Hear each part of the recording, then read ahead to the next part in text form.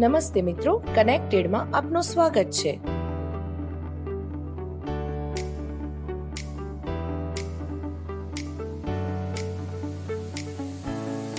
બાળકો, આજે આપણે બળ તથા ગતિના નિયમો વિશે અભ્યાસ કરીશું.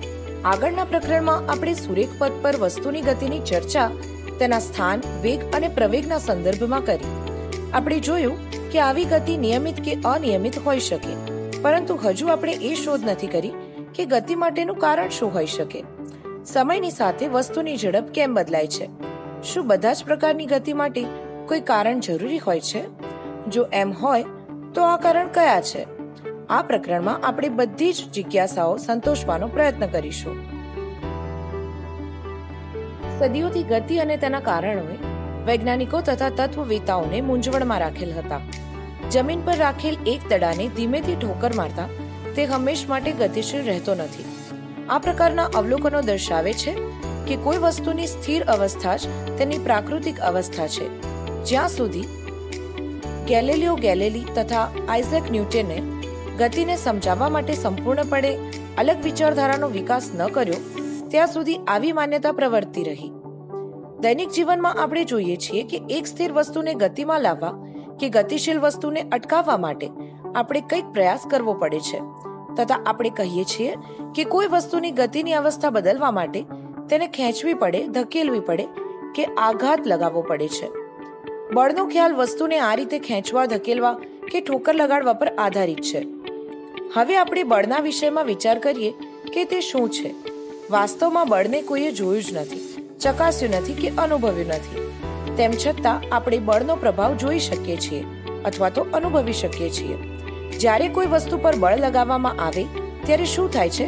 તેના વર્ણન પરથી જ તેને સમજાવી શકાય છે. વસ્તુને ખેંચવી, ધકેલવી કે આઘાત લગાડવો, આ બધી જ પ્રક્રિયાઓ વસ્તુને ગતિમાં લાવવાની પ્રયુક્તિઓ છે. આપણા દ્વારા તેની પર બળ લગાવવાના કારણે જ તેની ગતિ થાય છે.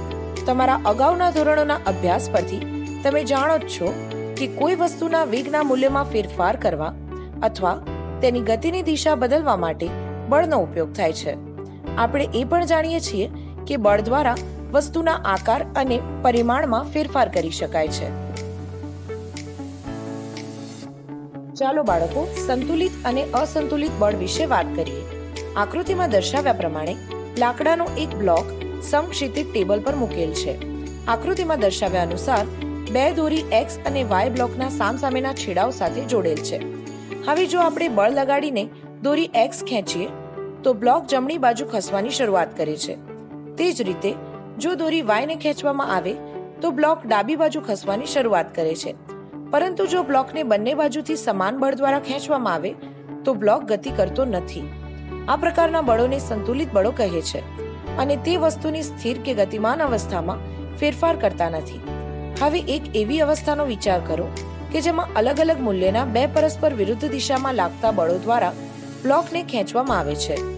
આ કિસ્સામાં બ્લોક વધારે મૂલ્ય ધરાવતા બળની દિશામાં ગતિ કરવાની શરૂઆત કરે છે. આમ અહીં બે બળો સંતુલિત નથી અને આ અસંતુલિત બળોનું પરિણામી બળ ગતિની દિશામાં કાર્યરત છે.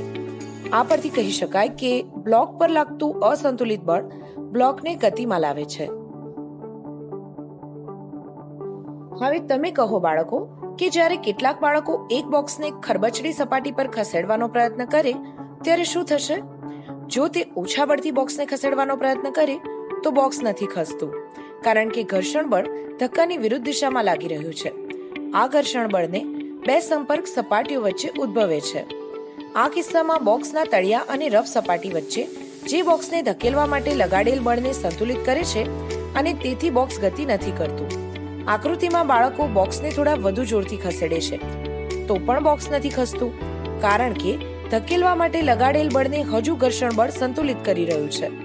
હવે જો બાળકો હજુ વધુ જોરથી ધક્કો મારે, તો લાગતું બળ ઘર્ષણ બળ કરતાં વધી જશે, જે અસંતુલિત બળ છે અને તેથી બોક્સ ગતિ કરવાનું શરૂ કરે છે. જ્યારે આપણે સાયકલ ચલાવીએ છીએ, ત્યારે શું થાય છે? જ્યારે આપણે પેડલ મારવાનું બંધ કરીએ, ત્યારે સાયકલની ગતિ ધીમી પડે છે. આમ થવાનું કારણ ઘર્ષણ બળ ગતિની વિરુદ્ધ દિશામાં લાગે છે. સાયકલને ગતિમાં ચાલુ રાખવા માટે આપણે ફરીથી પેડલ મારવાનું ચાલુ કરવું પડશે. આ પરિસ્થિતિ પરથી કહી શકાય કે કોઈ વસ્તુને સતત ગતિશીલ રહેવા માટે કોઈ અસંતુલિત બળની જરૂરિયાત છે. જો કે આ હકીકત સદંતર ખોટી છે.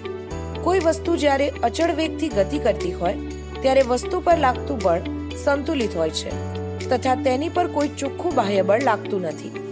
જો વસ્તુ પર કોઈ અસંતુલિત બાહ્ય બળ લાગે, તો તેની ઝડપમાં અથવા ગતિની દિશામાં ફેરફાર થાય છે. આમ કોઈ વસ્તુને પ્રવેગિત ગતિ કરાવવા માટે અસંતુલિત બળ જરૂરી છે. તથા તેની ઝડપ કે ગતિની દિશામાં જ્યાં સુધી અસંતુલિત બળ લાગે, ત્યાં સુધી ફેરફાર થતો રહે છે. જ્યારે આ બળ સંપૂર્ણ દૂર કરવામાં આવે, ત્યારે વસ્તુ ત્યાં સુધીમાં તેણે પ્રાપ્ત કરેલ વેગથી ગતિ ચાલુ રાખે છે. ચાલો બાળમિત્રો, આપણે ગતિના પહેલા નિયમ વિશે ભણીએ. વસ્તુઓની ટોળાવ ધરાવતી સપાટી પર થતી ગતિના અવલોકન પરથી ગેલેલિયો એક તારણ કાઢ્યું કે જ્યાં સુધી કોઈ બાહ્ય બળ ન લાગે ત્યાં સુધી વસ્તુઓ અચળ ઝડપથી ગતિ કરે છે. તેમણે અવલોકન કર્યું કે જ્યારે લખોટી ઢોળાવવાળી સપાટી પર ગબડતી હોય, ત્યારે તેનો વેગ વધી જાય છે. હવે પછીના પ્રકરણમાં તમે ભણશો કે લખોટી અસંતુલિત ગુરુત્વીય બળને કારણે નીચે તરફ ગતિ કરે છે. અને નીચે પહોંચતા સુધીમાં એક નિશ્ચિત વેગ પ્રાપ્ત કરે છે. આકૃતિમાં દર્શાવ્યા અનુસાર, જ્યારે લખોટી ઉપર તરફ ગતિ કરે છે, ત્યારે તેનો વેગ ઘટે છે. આકૃતિમાં દર્શાવ્યા પ્રમાણે, બંને બાજુથી ઘર્ષણ રહિત આદર્શ સમતલ ઢળતી સપાટી પર એક લખોટી સ્થિર છે. ગેલેલિયોએ દલીલ કરી કે જ્યારે લખોટીને ડાબી બાજુથી છોડવામાં આવે, ત્યારે તે ઢાળ પરથી નીચે તરફ ગબડે છે, તથા જમણી બાજુના ઢાળ પર તેટલી જ ઊંચાઈ સુધી પહોંચે છે. જેટલી ઊંચાઈએથી તેને છોડવામાં આવી હોય. જો બંને બાજુના સમતલના ઢોળાવ સમાન હોય, તો લખોટી તેટલી જ ઊંચાઈ સુધી પહોંચશે જેટલી ઊંચાઈએથી તે ગબડી છે. જો જમણી બાજુના ઢાળનો નમન કોણ ધીરે ધીરે ઘટાડવામાં આવે, તો લખોટીને તેટલી જ ઊંચાઈ પ્રાપ્ત કરવા માટે વધુ અંતર કાપવું પડશે. હવે જો જમણી બાજુનું સમતલ સમક્ષિતિજ કરી દેવામાં આવે, તો લખોટી મૂળ ઊંચાઈ પ્રાપ્ત કરવા માટે સમક્ષિતિજ સમતલ પર સતત ગતિ કરતી રહેશે. આ કિસ્સામાં લખોટી પર લાગતું અસંતુલિત બળ શૂન્ય છે, જે નિર્દેશ કરે છે કે લખોટીની ગતિ બદલવા માટે અસંતુલિત બળ જરૂરી છે. પરંતુ લખોટીની અચળ ગતિ ચાલુ રાખવા માટે કોઈ પરિણામી બળની જરૂર પડતી નથી. વ્યવહારિક સ્થિતિમાં શૂન્ય અસંતુલિત બળ પ્રાપ્ત કરવું કઠિન છે. આમ થવા પાછળનું કારણ ગતિની વિરુદ્ધ દિશામાં લાગતા ઘર્ષણ બળની હાજરી છે. તેથી વ્યવહારમાં લખોટી અમુક અંતર કાપ્યા બાદ સ્થિર થઈ જાય છે. અહીં ઘર્ષણ બળની અસર ઘટાડવા માટે લીસી લખોટી તથા લીસી સપાટીનો ઉપયોગ કરવો જોઈએ. તેમજ સપાટી પર લુબ્રિકન્ટ લગાડવું જોઈએ. ન્યૂટને બળ તેમજ ગતિ વિશેના ગેલેલિયોના વિચારોનો આગળ અભ્યાસ કર્યો અને ગતિમાન પદાર્થની ગતિને સમજાવતા ત્રણ મૂળભૂત નિયમો રજૂ કર્યા. આ ત્રણ નિયમો ન્યૂટનની ગતિના નિયમો તરીકે ઓળખાય છે. ગતિનો પ્રથમ નિયમ આ પ્રમાણે છે. દરેક વસ્તુ પોતાની સ્થિર અવસ્થા કે સુરેખ પદ પર અચળ ગતિની અવસ્થા જાળવી રાખે છે. જ્યાં સુધી તેના પર કોઈ બાહ્ય બળ વડે અવસ્થા બદલવાની ફરજ ન પડે. બીજા શબ્દોમાં, દરેક વસ્તુ પોતાની ગતિની અવસ્થામાં થતા પરિવર્તનનો વિરોધ કરે છે. સમગ્રતયા કોઈ વસ્તુની સ્થિર અવસ્થામાં રહેવાની કે અચળ વેગથી ગતિમાં રહેવાની પ્રકૃતિને જડત્વ કહે છે. આ જ કારણથી ગતિના પ્રથમ નિયમને જડત્વનો નિયમ પણ કહે છે. કોઈ મોટર કારમાં મુસાફરી કરતી વખતે થયેલા અનુભવોનું વર્ણન જડત્વના નિયમ દ્વારા કરી શકાય છે. સીટની સાપેક્ષમાં આપણે ત્યાં સુધી સ્થિર અવસ્થામાં રહીએ છીએ, જ્યાં સુધી મોટર કારને રોકવા માટે ડ્રાઈવર બ્રેક ન લગાડે. બ્રેક લગાડવાથી ગાડીની સાથે સીટ પણ સ્થિર અવસ્થામાં આવે છે, પરંતુ આપણું શરીર જડત્વને કારણે ગતિમાન અવસ્થામાં જ રહેવાની વૃત્તિ ધરાવે છે. અચાનક બ્રેક લાગવાના કારણે આપણે સીટની આગળ લગાડેલ પેનલ સાથે અથડાવવાથી ઘાયલ થઈ શકીએ છીએ. આ પ્રકારની દુર્ઘટનાથી બચવા માટે સુરક્ષા બેલ્ટનો ઉપયોગ કરવામાં આવે છે. સુરક્ષા બેલ્ટ આપણા શરીરની આગળની તરફની ગતિને ધીમી પાડતું બળ લગાડે છે. આનાથી ઉલટો અનુભવ આપણને ત્યારે થાય છે, જ્યારે આપણે બસમાં ઊભા હોઈએ અને બસ અચાનક ચાલુ થાય. આ સ્થિતિમાં આપણે પાછળની તરફ નમી પડીએ છીએ. આમ થવાનું કારણ બસ અચાનક ચાલુ થતા આપણા પગ કે બસના તળિયા સાથે સંપર્કમાં કે ગતિમાં આવે છે. પરંતુ શરીરનો ઉપરનો ભાગ જડત્વને કારણે ગતિનો વિરોધ કરે છે. જ્યારે કોઈ મોટર કાર અત્યંત ઝડપથી તીવ્ર વળાંક લે, ત્યારે આપણે એક તરફ નમી પડીએ છીએ. આ હકીકત જડત્વના નિયમથી સમજી શકાય છે. આપણું શરીર સુરેખ પથ પર ગતિ ચાલુ રાખે છે. જ્યારે મોટરકારની દિશા બદલવા માટે એન્જિન દ્વારા અસંતુલિત બળ લગાડવામાં આવે છે, ત્યારે આપણા શરીરના જડત્વને કારણે આપણે સીટ ઉપર એક તરફ નમી પડીએ છીએ. કોઈ વસ્તુ ત્યાં સુધી સ્થિર અવસ્થામાં રહેશે જ્યાં સુધી કોઈ અસંતુલિત બળ ન લાગે. તે હકીકત નીચેની પ્રવૃત્તિ દ્વારા દર્શાવી શકાય છે. આકૃતિમાં દર્શાવ્યા અનુસાર, કેરમની એક સરખી કુકરીઓને એક ઉપર એક ગોઠવી, થપ્પી બનાવો. અન્ય એક કુકરી અથવા સ્ટ્રાઇકરને પોતાની આંગળીઓની મદદથી સમક્ષિતિજ દિશામાં ફટકારી, થપ્પીની સૌથી નીચેની કુકરી જોડે અથડાવો. જો તમે કુકરીને પૂરતી તીવ્રતાથી અથડાવશો તો જોઈ શકશો કે ફક્ત નીચેવાળી કુકરી બહાર આવી ગયા બાદ બાકીની કુકરીઓ પોતાની ગોઠવણી બદલ્યા વગર જ જડત્વના કારણે એ જ દિશામાં આવી જાય છે. આકૃતિમાં દર્શાવ્યા પ્રમાણે કાચના એક ખાલી ગ્લાસ પર કડક પત્તાને મૂકી તેની પર એક પાંચ રૂપિયાનો સિક્કો મૂકો. પત્તાને આંગળી વડે સમક્ષિતિત દિશામાં ધક્કો મારો. જો આપણે આ પ્રક્રિયા ઝડપથી કરીશું, તો પત્તું બહાર ફેંકાઈ જશે. જ્યારે સિક્કો પોતાના જડત્વને કારણે નીચેની તરફ ગતિ કરી ગ્લાસમાં પડી જાય છે. પત્તું ખસવા છતાં પણ સિક્કો ઝડત્વને કારણે પોતાની સ્થિર અવસ્થા જાળવી રાખવાનો પ્રયત્ન કરે છે. પાણી ભરેલ ગ્લાસ કોઈ ટ્રે પર મૂકો. ટ્રેને હાથથી પકડી જેટલું થઈ શકે તેટલા જોરથી ગોળ ફેરવો. આપણે જોઈએ છીએ કે પાણી છલકાય છે. કેમ? શું હવે તમે સમજ્યા કે રકાબીમાં ચાનો કપ રાખવા માટે ખાંચો કેમ આપેલ હોય છે? અચાનક ધક્કો વાગવાની સ્થિતિમાં રકાબીનો ખાંચો કપને ડગમગ થઈને ગબડી પડતા અટકાવે છે. જડત્વ તથા દ્રવ્યમાન. અત્યાર સુધી આપેલ ઉદાહરણો તેમજ પ્રવૃત્તિઓ દર્શાવે છે કે પ્રત્યેક વસ્તુ પોતાની ગતિની અવસ્થામાં થતા ફેરફારનો વિરોધ કરે છે. જો તે સ્થિર અવસ્થામાં હોય, તો સ્થિર અને ગતિમાન અવસ્થામાં હોય તો સતત ગતિમાં રહેવાનો પ્રયત્ન કરે છે. વસ્તુના આ ગુણને તેનું જડત્વ કહે છે. શું બધી જ વસ્તુઓનું જડત્વ સમાન હોય છે? આપણે જાણીએ છીએ કે પુસ્તકોથી ભરેલા બોક્સની સાપેક્ષે ખાલી બોક્સને ધક્કો મારવો સરળ છે. તે જ રીતે જો આપણે એક ફૂટબોલને કિક મારીએ, તો તે દૂર સુધી ગતિ કરે છે. જ્યારે તેટલા જ બળથી, તેટલી જ સાઈઝના પથ્થરને કિક મારીએ, તો તે ભાગ્યે જ ગતિ કરશે. એવું પણ બની શકે કે આવું કરતી વખતે આપણા પગને ઈજા થાય. તે જ રીતે આવી પ્રવૃત્તિમાં પાંચ રૂપિયાના સિક્કાને બદલે, જો એક રૂપિયાનો સિક્કો લઈએ, તો આપણે જોઈ શકીએ છીએ કે આ જ ક્રિયા કરવા માટે આપણને ઓછા બળની જરૂર પડે છે. એક હાથ લારીને ગતિ આપવા માટે જેટલા બળની જરૂરિયાત હોય છે તેટલું જ બળ જો ટ્રેન પર લગાડવામાં આવે, તો તેની ગતિમાં અવગણ્ય એટલે કે નગણ્ય ફેરફાર થાય છે.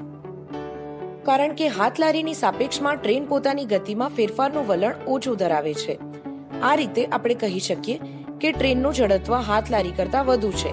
આ પરથી સ્પષ્ટ થાય છે કે ભારે વસ્તુઓનું જડત્વ વધારે હોય છે. માત્રાત્મક રૂપે કોઈ વસ્તુનું જડત્વ તેના દ્રવ્યમાન દ્વારા માપી શકાય છે. આમ આપણે જડત્વ તથા દ્રવ્યમાન નીચે પ્રમાણે વ્યાખ્યાયિત કરી શકીએ. જડત્વ એ પદાર્થનું એવું કુદરતી વલણ છે, જે પદાર્થની સ્થિર કે ગતિમાન અવસ્થામાં થતા ફેરફારનો વિરોધ કરે છે. કોઈ વસ્તુનું દ્રવ્યમાન તેના જડત્વનું માપ છે. ચાલો બાળકો, ગતિનો બીજો નિયમ ભણીએ. ગતિનો પ્રથમ નિયમ દર્શાવે છે કે જ્યારે કોઈ અસંતુલિત બાહ્ય બળ કોઈ વસ્તુ પર લાગે, તો તેના વેગમાં ફેરફાર થાય છે, એટલે કે વસ્તુ પ્રવેગ પ્રાપ્ત કરે છે. હવે આપણે એ વાતનો અભ્યાસ કરીશું કે કોઈ વસ્તુનો પ્રવેગ તેના પર લગાડેલ બળ પર કેવી રીતે આધાર રાખે છે? તથા તે બળને કેવી રીતે માપી શકાય છે? આવો આપણે રોજબરોજના કેટલાક અનુભવોનો અભ્યાસ કરીએ. ટેબલ ટેનિસની રમત દરમિયાન દડો જો કોઈ ખેલાડીના શરીરને અથડાય, તો તે ઘાયલ થતો નથી. ઝડપથી આવતો ક્રિકેટનો દડો કોઈ દર્શકને વાગવાથી તે ઘાયલ થઈ શકે છે. રોડની સાઈડમાં ઊભા રહેલા ટ્રકથી કોઈ જોખમ નથી. પરંતુ પાંચ મીટર પ્રતિ સેકન્ડ જેટલા ઓછા વેગથી ગતિ કરતી ટ્રકની ટક્કરથી પણ તેના રસ્તામાં ઉભેલ કોઈ વ્યક્તિનું મૃત્યુ થઈ શકે છે. ઓછું દળ ધરાવતી વસ્તુ જેમ કે ગોળી જો બંદૂકમાંથી તીવ્ર વેગથી છોડવામાં આવે, તો તે પણ કોઈ વ્યક્તિના મૃત્યુનું કારણ બની શકે છે. આ પરથી ખ્યાલ આવે છે કે વસ્તુ દ્વારા ઉત્પન્ન થતો આઘાત વસ્તુના દ્રવ્યમાન તેમજ વેગ પર આધાર રાખે છે. આ જ રીતે જો કોઈ વસ્તુને પ્રવેગિત કરવામાં આવે, તો વધારે વેગ પ્રાપ્ત કરાવવા માટે વધારે બળની જરૂર પડે છે. બીજા શબ્દોમાં આપણે કહી શકીએ કે વસ્તુના દ્રવ્યમાન તેમજ વેગ સાથે સંબંધિત એક મહત્વપૂર્ણ રાશિ અસ્તિત્વ ધરાવે છે. ન્યૂટને આ રાશિને વેગમાન તરીકે ઓળખાવી હતી. કોઈ વસ્તુનું વેગમાન પી તેના દ્રવ્યમાન એમ અને વેગ v ના ગુણાકારથી વ્યાખ્યાયિત કરી શકાય છે. એટલે કે p વી વેગમાનની દિશા અને માન એટલે કે મૂલ્ય બંને છે. તેની દિશા તે જ હોય છે જે વેગ 6 ની દિશા હોય. વેગમાનનો એસઆઈ એકમ કિલોગ્રામ મીટર પ્રતિ સેકન્ડ છે. હવે, કોઈ અસંતુલિત બળ વડે વસ્તુના વેગમાં પરિવર્તન થતું હોવાથી એ સ્પષ્ટ છે કે બળ દ્વારા જ વેગમાનમાં ફેરફાર થાય છે. એવી સ્થિતિનો વિચાર કરો કે જેમાં ખરાબ બેટરીવાળી કારને સુરેખ રસ્તા પર એક મીટર પ્રતિ સેકન્ડનો વેગ પ્રાપ્ત કરવા માટે ધક્કો મારવામાં આવે છે, જે તેના એન્જિનને ચાલુ કરવા માટે પૂરતો છે. જો એક કે બે વ્યક્તિ તેને ક્ષણિક ધક્કો મારે, તો તે ચાલુ નહીં થાય. પણ જો થોડા સમય સુધી સતત ધક્કો મારવામાં આવે, તો કારમાં ઉદ્ભવતા ક્રમિક પ્રવેગથી તે આપેલ ઝડપ પ્રાપ્ત કરે છે. આનો અર્થ એ થયો કે કારના વેગમાનનો ફેરફાર ફક્ત બળના મૂલ્ય વડે માપી શકાતો નથી, પરંતુ જેટલા સમય સુધી બળ લાગે છે, તે સમયગાળો પણ ધ્યાનમાં લેવો પડે. આ પરથી એ તારણ કાઢી શકાય કે કોઈ વસ્તુના વેગમાનમાં ફેરફાર કરવા જરૂરી બળ વેગમાનનો ફેરફાર જે સમય દરથી નક્કી થાય છે, તેના પર આધાર રાખે છે. ગતિનો બીજો નિયમ કહે છે કે કોઈ વસ્તુના વેગમાનના ફેરફારનો સમય દર તેના પર લાગતા અસંતુલિત બળ જેટલો અને બળની દિશામાં હોય છે. ગતિના બીજા નિયમનું ગાણિતિક નિરૂપણ મેળવીએ. ધારો કે કોઈ એમ દળ ધરાવતી વસ્તુ સુરેખ પથ પર પાંચ જેટલા પ્રારંભિક વેગથી ગતિ કરે છે. ચાર સમયમાં અચળ પ્રવેગી ગતિ કરી અચળ બળ એફની અસર હેઠળ છ જેટલો વેગ પ્રાપ્ત કરે છે. વસ્તુનું પ્રારંભિક અને અંતિમ વેગમાન અનુક્રમે P one is equal to m u અને P two is to m v છે. દળ અને પ્રવેગના એસઆઈ એકમો અનુક્રમે કિલોગ્રામ અને મીટર પ્રતિ સેકન્ડ સ્ક્વેર છે. આપણે બળનો એકમ એવો પસંદ કરીશું કે જેથી અચળાંક કેનું મૂલ્ય એક થાય. આ માટે એક એકમ બળને આ પ્રમાણે વ્યાખ્યાયિત કરવામાં આવે છે. એક કેજી દળની વસ્તુમાં એક મીટર પ્રતિ સેકન્ડ સ્ક્વેરનો પ્રવેગ ઉત્પન્ન કરવા માટે જરૂરી બળ એક એકમ છે. તેથી એક એકમ બળ બરાબર કે ગુણ્યા એક કિલોગ્રામ ગુણ્યા એક મીટર પ્રતિ સેકન્ડ સ્ક્વેર. આમ કે નું મૂલ્ય એક બને છે. સમીકરણ નવ પોઈન્ટ ત્રણ પરથી F is equal to m a બળનો એકમ કિલોગ્રામ મીટર પ્રતિ સેકન્ડ સ્ક્વેર અથવા ન્યૂટન છે, જે તેની સંખ્યા એન છે. ગતિનો બીજો નિયમ પદાર્થ પર લાગતા બળના માપનની પદ્ધતિ આપે છે, જે તેના દ્રવ્યમાન અને પ્રવેગનો ગુણાકાર છે. ગતિના બીજા નિયમનો ઉપયોગ રોજિંદા જીવનમાં વારંવાર જોવા મળે છે. શું તમે નોંધ્યું છે કે ક્રિકેટ મેચ દરમિયાન મેદાનમાં ફિલ્ડર ખૂબ જ ઝડપથી આવતા દડાને કેચ કરતી વખતે હાથને પાછળની બાજુએ લઈ જાય છે? આમ કરવાથી ફિલ્ડર ખૂબ જ ઝડપથી ગતિ કરતા દડાનો વેગ શૂન્ય કરવા માટે લાગતો સમય વધારી દે છે. તેથી દડાના પ્રવેગમાં ઘટાડો થાય છે. અને તેને પરિણામે ખૂબ જ ઝડપથી ગતિ કરતા દડાને કેચ કરતી વખતે લાગતો આઘાત ઘટાડી શકાય છે. જો દડાને રોકવામાં આવે તો તેનો ઝડપી વેગ ખૂબ જ ટૂંકા સમયગાળામાં શૂન્ય થઈ જાય છે. આથી દડાના વેગમાનમાં થતો ફેરફારનો દર ઘણો મોટો થશે અને કેચ પકડવા માટે વધારે બળ લગાવવું પડશે, જેના પરિણામે ફિલ્ડરની હથેળીમાં ઈજા થવાની શક્યતા છે. ઊંચી કૂદની રમતમાં ખેલાડીઓ ગાદલા પથારી કે રેતીની પથારી પરથી કૂદકો લગાવે છે. આવું ખેલાડીઓના છલાંગ લગાવ્યા બાદ નીચે પડવા માટે લાગતા સમયને વધારવા માટે કરવામાં આવે છે. જે વેગમાનમાં થતા ફેરફારનો દર અને પરિણામે બળ પણ ઘટાડે છે. વિચારવાનો પ્રયત્ન કરો કે કરાટેનો ખેલાડી એક જ ફટકામાં બરફની પાટને કેવી રીતે તોડી નાખે છે? ગતિના બીજા નિયમના ગાણિતિક સૂત્રના ઉપયોગ દ્વારા ગતિના પ્રથમ નિયમને ગાણિતિક સ્વરૂપે મેળવી શકાય છે. સમીકરણ નવ પોઈન્ટ ચાર પરથી F is to m a એટલે કે જ્યારે એફ ઇઝ ટુ શૂન્ય હોય, ત્યારે કોઈ પણ સમય એક માટે છ બરાબર ચાર. તેનો અર્થ એ થયો કે વસ્તુ સમાન વેગથી સમગ્ર સમય એક દરમિયાન ગતિ ચાલુ રાખશે. જો પાંચ શૂન્ય હોય તો પણ શૂન્ય થશે, એટલે કે વસ્તુ સ્થિર રહેશે. ચાલો બાળકો, ગતિનો ત્રીજો નિયમ ભણીએ. ગતિના પ્રથમ બે નિયમો આપણને જણાવે છે કે કેવી રીતે લગાડેલ બળ ગતિમાં ફેરફાર કરે છે, તથા તે બળના માપનની પદ્ધતિ પણ આપે છે. ગતિનો ત્રીજો નિયમ દર્શાવે છે કે જ્યારે એક વસ્તુ બીજી વસ્તુ પર બળ લગાડે છે, ત્યારે બીજી વસ્તુ પણ તત્કાળ પહેલી વસ્તુ પર બળ લગાડે છે. આ બંને બળો હંમેશા સમાન મૂલ્યના અને પરસ્પર વિરુદ્ધ દિશામાં હોય છે. આ બળો અલગ અલગ વસ્તુઓ પર લાગે છે, તે કદાપી એક જ વસ્તુ પર લાગતા ન હોઈ શકે. ફૂટબોલની રમતમાં ઘણીવાર આપણે ફૂટબોલ તરફ જોવામાં અને તેને વધારે બળથી કિક મારવાના પ્રયત્ન વખતે પ્રતિસ્પર્ધી ટીમના ખેલાડી સાથે અથડાઈ જઈએ છીએ. આ ઘટનામાં બંને ખેલાડી ઈજાગ્રસ્ત થાય છે, કારણ કે બંને એકબીજા પર બળ લગાડે છે. બીજા શબ્દોમાં, એકલા અટુલા બળનું અસ્તિત્વ શક્ય નથી. બળો હંમેશા જોડમાં હોય છે આ બંને પરસ્પર વિરોધી બળોને ક્રિયાબળ તથા પ્રતિક્રિયા બળ પણ કહે છે. આકૃતિમાં દર્શાવ્યા મુજબ એકબીજા સાથે જોડેલા બે સ્પ્રિંગ બેલેન્સનો વિચાર કરો. સ્પ્રિંગ બેલેન્સ બીનો સ્થિર છેડો એક દિવાલ જેવા દ્રઢ આધાર સાથે ડીદ કરે છે. જ્યારે સ્પ્રિંગ બેલેન્સ એના મુક્ત છેડા પાસે બળ લગાવવામાં આવે, ત્યારે જોઈ શકાય છે કે બંને સ્પ્રિંગ બેલેન્સ તેમના સ્કેલ ઉપર એક સરખું રીડિંગ દર્શાવે છે. એનો અર્થ એ થયો કે સ્પ્રિંગ બેલેન્સ એ દ્વારા સ્પ્રિંગ બેલેન્સ બી પર લાગતું બળ અને સ્પ્રિંગ બેલેન્સ બી દ્વારા સ્પ્રિંગ બેલેન્સ એ પર લાગતું બળ સમાન પરંતુ દિશા વિરુદ્ધ દિશામાં છે. સ્પ્રિંગ બેલેન્સ એ દ્વારા સ્પ્રિંગ બેલેન્સ બી પર લગાડેલ બળને ક્રિયાબળ જ્યારે સ્પ્રિંગ બેલેન્સ બી દ્વારા સ્પ્રિંગ બેલેન્સ એ પર લગાડેલ બળને પ્રતિક્રિયા બળ કહે છે, જે ન્યૂટનના ગતિના ત્રીજા નિયમનું વૈકલ્પિક વિધાન છે. એટલે કે દરેક ક્રિયાબળ સામે સમાન મૂલ્યનું અને વિરુદ્ધ દિશામાં પ્રતિક્રિયા બળ લાગે છે તેમ છતાં યાદ રાખો કે ક્રિયાબળ અને પ્રતિક્રિયાબળ હંમેશા બે જુદી જુદી વસ્તુઓ પર લાગે છે. ધારો કે તમે સ્થિર ઊભા છો અને રસ્તા પર ચાલવાનું શરૂ કરવાનો ઈરાદો કરો છો. ગતિના બીજા નિયમ અનુસાર આ માટે એક બળની જરૂરિયાત ઊભી થાય કે જે તમારા શરીરમાં પ્રવેગ ઉત્પન્ન કરે. આ બળ કયું છે? શું તે સ્નાયુ બળ છે જે તમે રસ્તા પર લગાવો છો? શું આ બળ આપણે તે જ દિશામાં લગાડીએ છીએ જે દિશામાં આપણે આગળ વધવું હોય? ના. તમે રસ્તા પર બળ પાછળથી તરફથી લગાવો છો. રસ્તા વડે તે જ સમયે તમારા પગ પર તેટલા જ મૂલ્યનું પરંતુ વિરુદ્ધ દિશામાં પ્રતિક્રિયા બળ લાગે છે કે જેથી તમે આગળ વધી શકો. અહીં એ નોંધવું જરૂરી છે કે ક્રિયા તથા પ્રતિક્રિયા બળ મૂલ્યમાં સમાન હોવા છતાં દરેક વખતે સમાન પ્રવેગ ઉત્પન્ન કરતા નથી. કારણ કે આ બળો અલગ અલગ વસ્તુ પર લાગે છે. જેમના દળ અસમાન પણ હોઈ શકે. બંદૂક દ્વારા ગોળી છોડવાની ઘટનામાં બંદૂક દ્વારા ગોળી પર આગળની તરફ એક બળ લાગે છે. ગોળી પણ બંદૂક પર તેટલા જ મૂલ્યનું પરંતુ વિરુદ્ધ દિશામાં બળ લાગે છે. તેનાથી બંદૂક પાછળ તરફ ધકેલાય છે, જે બંદૂકને રિકોઇલ કરવામાં પરિણમે છે. બંદૂકનું દળ ગોળીના દળ કરતાં ઘણું વધુ હોવાથી બંદૂકનો પ્રવેગ ગોળીના પ્રવેગ કરતાં ઘણો ઓછો હોય છે. એક ખલાસી દ્વારા બોટમાંથી આગળ તરફ કૂદવાની સ્થિતિ પણ ગતિના ત્રીજા નિયમનું જ ઉદાહરણ છે. જ્યારે ખલાસી આગળ તરફ કૂદે છે, ત્યારે બોટ પર લાગતું પ્રતિક્રિયા બળ બોટને પાછળ તરફ ધકેલે છે. ચાલો એક પ્રવૃત્તિ કરીએ.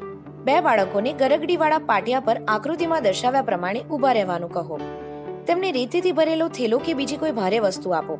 હવે તેમને આ થેલાને કેચ કરવાની રમત રમવાનું કહો. શું રેતીનો થેલો ફેંકવાને કારણે તે બંને તત્કાળ પ્રતિક્રિયા બળનો અનુભવ કરશે?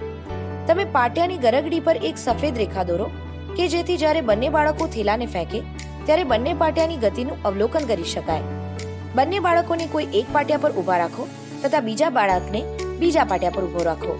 અહીં તમે ગતિના બીજા નિયમનો અનુભવ કરી શકો, કારણ કે આ સ્થિતિમાં એક જ બળ જુદો જુદો પ્રવેગ ઉત્પન્ન કરશે. આ પ્રવૃત્તિમાં દર્શાવેલ પાટિયું પચાસ સેન્ટીમીટર ગુણ્યા સો સેન્ટીમીટર આકારના બાર એમએમ કે અઢાર એમએમના જાડાઈના પ્લાયવુડ બોર્ડ અને બે જોડ બોલ બેરિંગ વ્હીલ દ્વારા બનાવી શકાય છે. સ્કેટબોર્ડ અહીં એટલું અસરકારક નહીં રહે કારણ કે તેના દ્વારા સુરેખ પથ પર ગતિ કરવી મુશ્કેલ છે.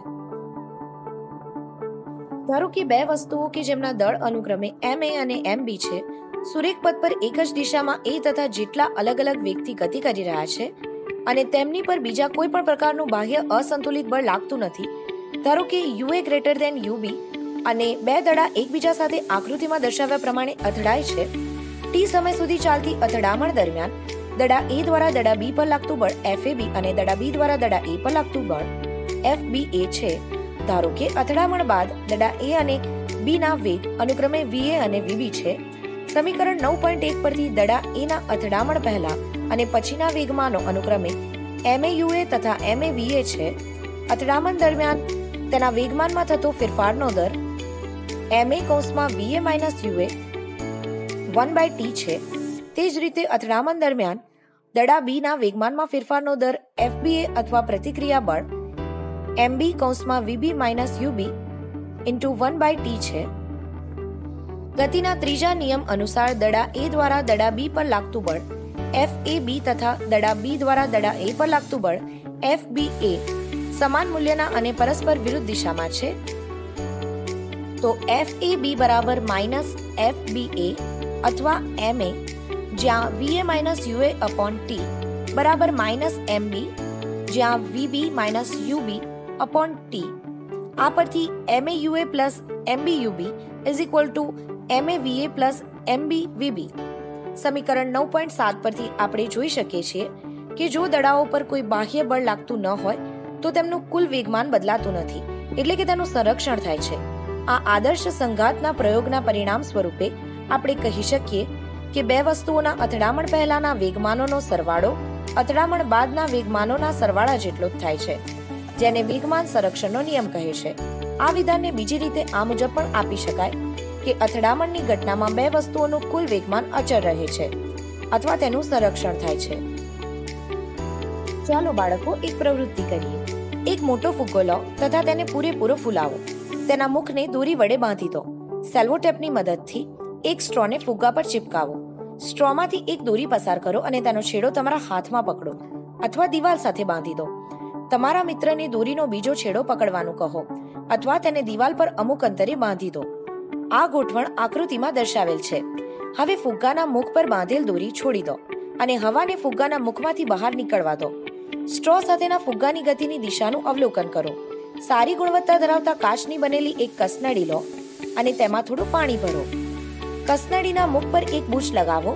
આકૃતિમાં દર્શાવ્યા પ્રમાણે કસનળીને બે દોરીઓની મદદથી સમક્ષિતિજ દિશામાં લટકાવો. બર્નરની મદદથી કસનળીને ત્યાં સુધી ગરમ કરો, જ્યાં સુધી પાણીનું સંપૂર્ણ બાષ્પીભવન ન થાય અને બૂચ બહાર નીકળી ન જાય. આપણે જોઈ શકીએ છીએ કે કસનળી બૂચની ગતિની વિરુદ્ધ દિશામાં પાછળ તરફ ધકેલાય છે. બાળ મિત્રો, અહીં આપણો પાઠ પૂર્ણ થાય છે. હવે આપણે પાઠના આધારે પ્રશ્નો જોઈએ. પ્રશ્ન એક, નીચેના પૈકી કોનું જડત્વ વધુ છે? એ રબરનો દડો અને તેટલા જ પરિમાણવાળો પથ્થર, બી સાયકલ અને ટ્રેન, સી પાંચ રૂપિયાનો સિક્કો અને એક રૂપિયાનો સિક્કો. જવાબ, કોઈ પદાર્થનું દ્રવ્યમાન તેના જડત્વનું માપ છે. આપેલા જુદા જુદા પદાર્થોમાંથી જે પદાર્થનું દળ વધુ હોય, તેનું જડત્વ વધુ હોય છે. એટલે કે, જવાબ આ પ્રમાણે હશે. પથ્થર, ટ્રેન, પાંચ રૂપિયાનો સિક્કો. પ્રશ્ન બે, કોઈ ઝાડની ડાળીને તીવ્રતાથી હલાવતા? કેટલાક પર્ણો કેમ ડાળીમાંથી નીચે પડી જાય છે? સમજાવો. જવાબ, ઝાડની ડાળીને તીવ્રતાથી હલાવતા પહેલા તેના પર્ણો સ્થિર અવસ્થામાં હોય છે. હવે ઝાડની ડાળીને પકડીને તીવ્રતાથી હલાવતા ડાળીઓ ગતિમાં આવે છે. પણ તેના પણ જડત્વના ગુણધર્મને લીધે પોતાની મૂળ સ્થિર અવસ્થામાં રહેવાનો પ્રયત્ન કરે છે. તેથી તેના કેટલાક પર્ણો તૂટીને નીચે પડી જાય છે. પ્રશ્ન ત્રણ, જ્યારે કાર્પેટ એટલે કે જાજમને લાકડી વડે ફટકારવામાં આવે છે, ત્યારે તેમાંથી ધૂળ બહાર આવે છે. સમજાવો. જવાબ કાર્પેટ પ્રારંભમાં જ્યારે ટીંગાડેલી હોય કે લટકાવેલી હોય, ત્યારે તેમાં ધૂળના રજકણો સ્થિર અવસ્થામાં હોય છે. જ્યારે લાકડી વડે તેને ફટકારવામાં આવે, ત્યારે જાજમ ગતિમાં આવે છે. પણ તેમાંના ધૂળના રજકણો પર કોઈ બાહ્ય બળ લાગતું ન હોવાથી, તેઓ જડત્વના ગુણધર્મને લીધે સ્થિર અવસ્થામાં જ રહેવાનો પ્રયત્ન કરે છે. પરિણામે ધૂળના રજકણો જાજમમાંથી બહાર નીકળે છે અને જમીન પર પડી જાય છે. તો બાળકો, અહીંયા આજનો પાઠ સમાપ્ત થાય છે. આશા કરું છું કે તમને સમજાયું હશે. આવતી કક્ષામાં મળીશું એક નવા પાઠ સાથે.